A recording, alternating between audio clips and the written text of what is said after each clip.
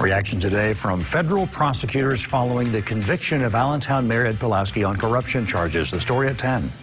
Then at 10:30, a look at how today's storm kept first responders busy in Berks County. We'll see you at 10.